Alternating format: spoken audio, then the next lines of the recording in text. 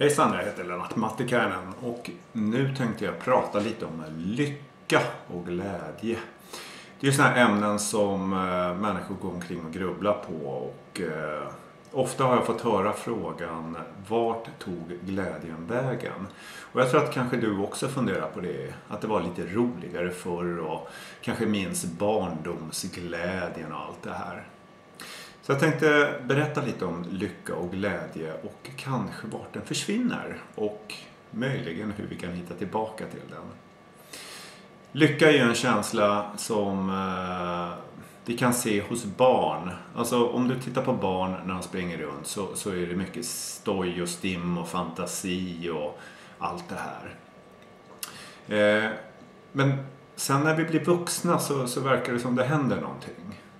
Och det är just det här när jag får frågan vart tog glädjen vägen? Varför känner jag ingen lycka? Så har jag faktiskt haft ett svar som har varit lite standard.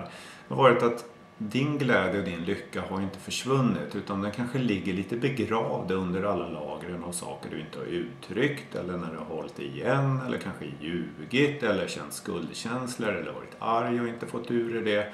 Kanske inte gråtit klart vid något tillfälle etc.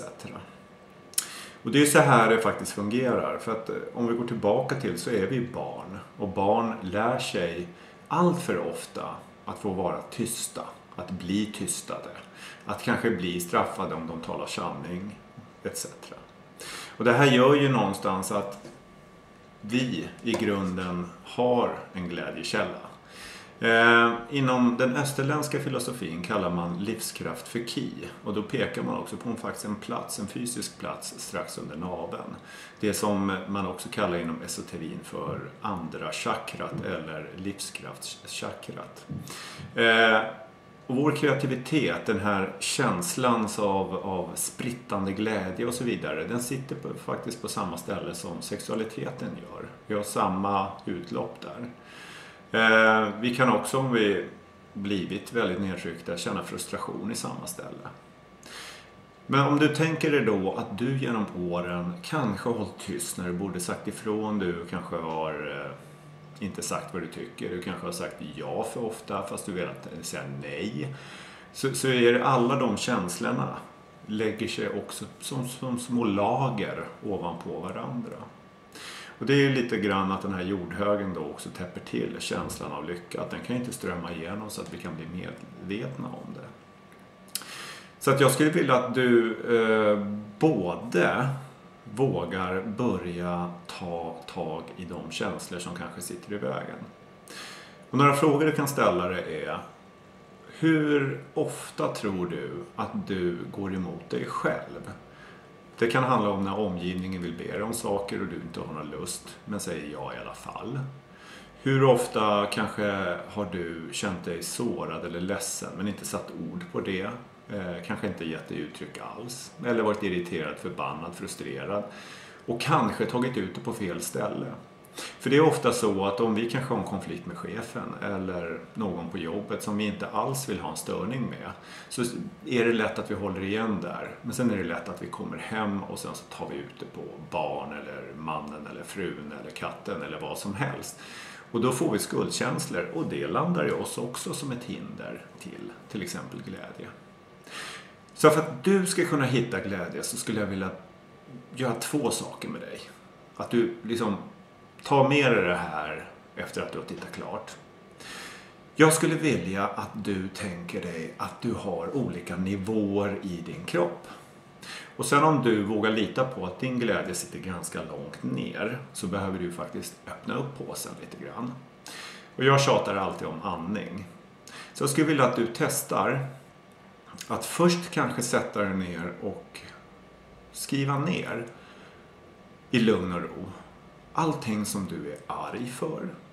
Och det kan bara vara jag är arg på min mamma eller pappa eller jag är arg på min chef. Och bara skriv ner allt du kommer på att du är arg för. Och i nästa läge skriver du ner allting som du brukar bli ledsen över eller känner dig sårad eller besviken över. Skriv ner allting.